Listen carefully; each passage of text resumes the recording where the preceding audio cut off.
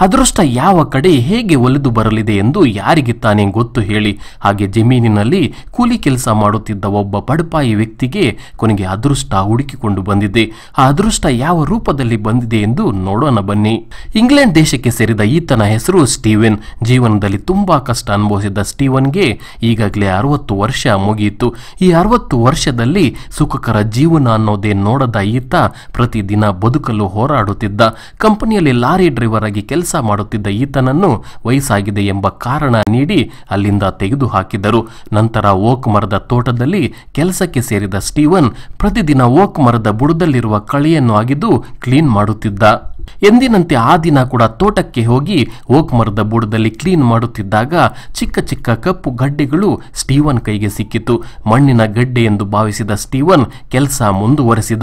ಮತ್ತೆ ಅಂತಹದೇ ಮಣ್ಣಿನ ಗಡ್ಡೆ ಸಿಕ್ಕಿತು. ಆಗ ಕ್ಲೀನ್ ಮಾಡಿ ಸರಿಯಾಗಿ ನೋಡಿದಾಗ ಅದು ಬ್ಲ್ಯಾಕ್ ಗೋಲ್ಡ್ ಎಂದು ಗೊತ್ತಾಯಿತು. ಬ್ಲ್ಯಾಕ್ ಗೋಲ್ಡ್ ಎಂದರೆ ಬ್ಲ್ಯಾಕ್ ಟ್ರಾಫಲ್ ಎಂದು ಅರ್ಥ.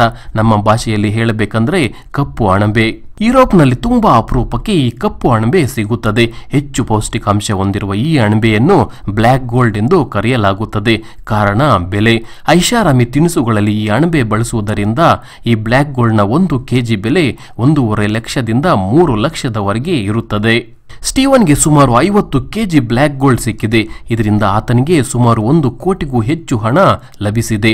ಹಾಗಾಗಿ ಸಂತೋಷದಲ್ಲಿ ಮುಳುಗಿ ಹೋಗಿರುವ ಸ್ಟೀವನ್ ಆ ಓಕ್ ತೋಟವನ್ನು ಖರೀದಿ ಮಾಡಿ ಇನ್ನಾದರೂ ಹೆಂಡತಿ ಮಕ್ಕಳ ಜೊತೆ ಆನಂದದ ಜೀವನ ನಡೆಸುವ ಆಶಯ ವ್ಯಕ್ತಪಡಿಸಿದ್ದಾರೆ. ಜೀವನ ಪೂರ್ತಿ ನಿಯತ್ತಿನಿಂದ ಬದುಕಿದ ಸ್ಟೀವನ್ಗೆ ಕೊನೆಗೂ ಭೂತಾಯಿ ಕರುಣೆ ತೋರಿಸಿದ್ದಾಳೆ. ಈ ವಿಡಿಯೋ ನಿಮ್ಗೆ ಇಷ್ಟ ಆಗಿದ್ರೆ ಒಂದು ಲೈಕ್ ಕೊಡಿ. ಹಾಗೆ ನೀವಿನ್ನು ಚಂದನವನಕ್ಕೆ ಸಬ್ಸ್ಕ್ರೈಬ್ ಆಗಿಲ್ಲ ಅಂದ್ರೆ ಈ ಕೂಡಲೇ ಸಬ್ಸ್ಕ್ರೈಬ್ ಆಗೋದನ್ನ ಮರೆಯಬೇಡಿ ಫ್ರೆಂಡ್ಸ್